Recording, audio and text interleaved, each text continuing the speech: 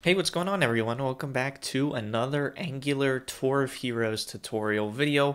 Uh, I think we're on like video 11 now or so, and in the last video we kind of replicated what it would be like if we were to call an API and get data from a different data source using observables and subscribing to those observables.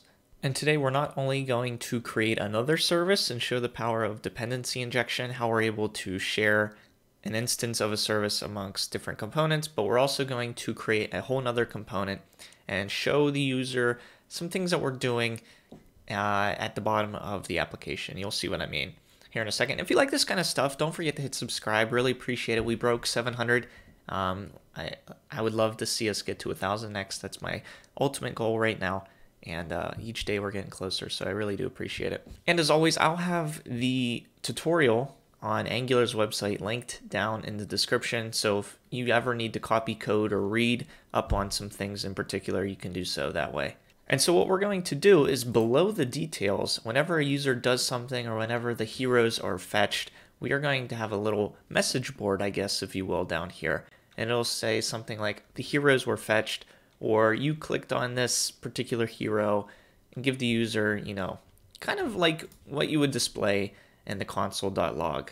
And this particular component is going to be called the messages component. So if you remember, we have two components already, the hero detail and the heroes. We're going to open a new terminal instance here, uh, cd to the project and what source and app. And here we're going to generate a component. So ng, g, c, and then messages and that's going to create that component for us. And we'll go ahead and delete the spec TypeScript file because we're not going to use it for testing. So I'll delete that. And we'll open up that TypeScript file for the messages component. I'll copy the selector here and then we'll put a tag in the app component HTML just below the app heroes where our messages are going to go.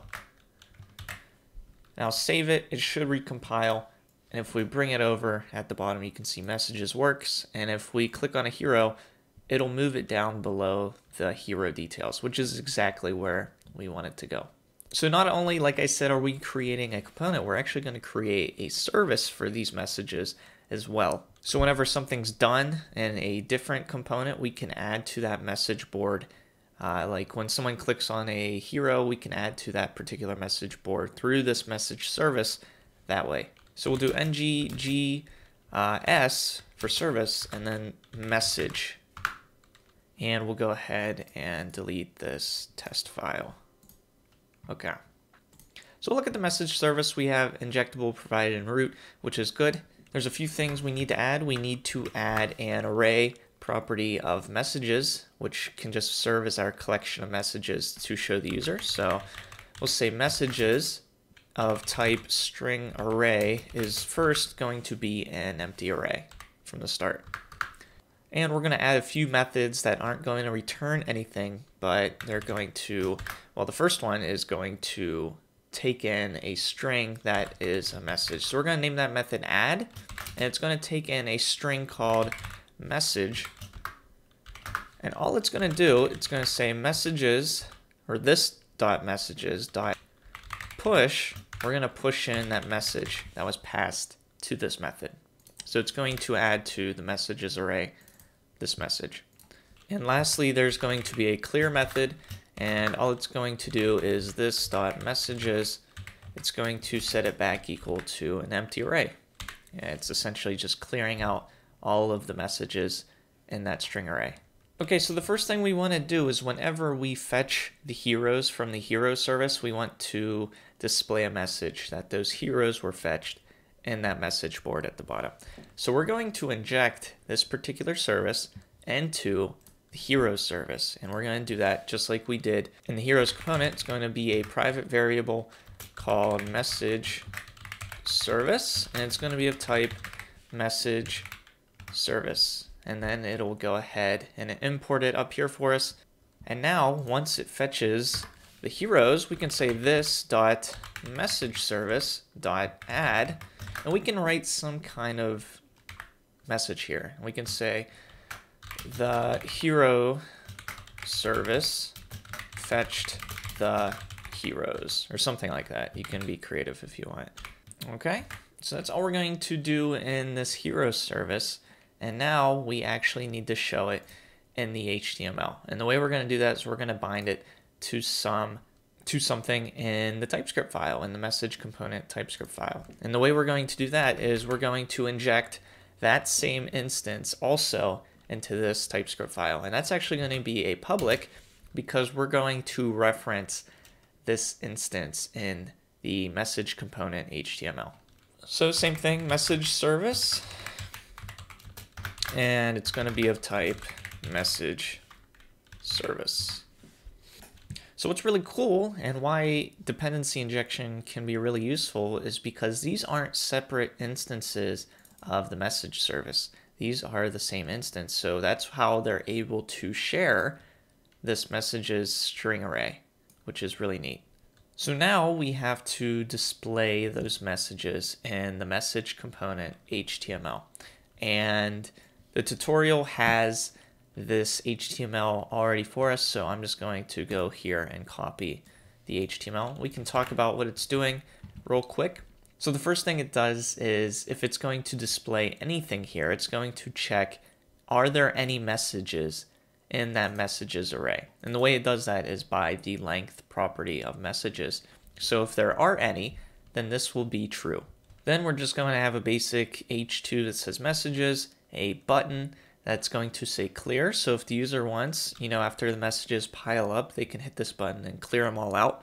And then at the end, it's just going to use this ng-for directive to list out all of the single messages in that message array. And there's also some CSS that I'm going to copy down at the bottom in the final code review to make that button and the messages look a little bit better. So I'm just going to go to this messages component CSS down here, copy everything, and then go to the message component CSS in our project and just paste all of that and make sure to save both that and the HTML.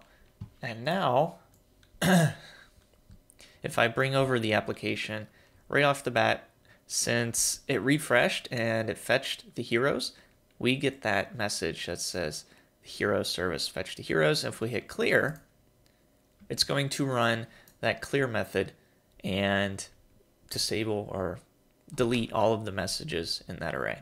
So one more thing we're going to do is add a message whenever a user clicks on a hero.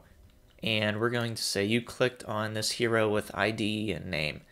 And we're going to do that in the heroes component TypeScript. And we're going to do that in the onSelected click event method that we created. So the first thing we have to do is like we did before and the other two, inject that same instance into this TypeScript file class as well. So message service of type message service. And then on the on selected, we can just do message service dot add and here I'm going to do a little JavaScript string interpolation, and I'm going to use the button above the, the tab.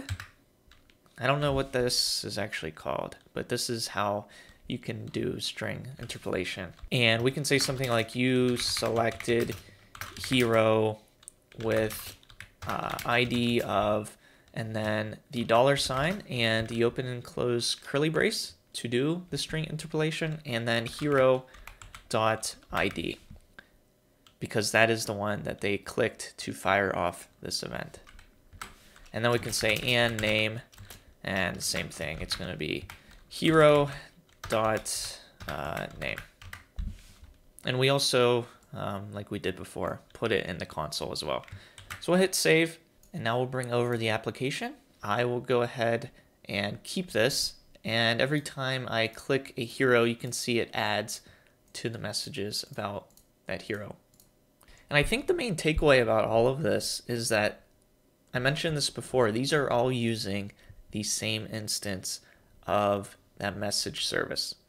They're not creating each individual one by scratch, it's being injected, and that's how they're all able to share all of this uh, methods and data, which is really cool. So I think that'll be the uh, end. Actually, I think that's the end of part four of this. I think we, I think we finished everything. Yeah, looks like it. So in the next section, part five, looks like we're going to be adding a couple tabs at the top and maybe some navigation. So stay tuned for that and hope to see you then. Take care.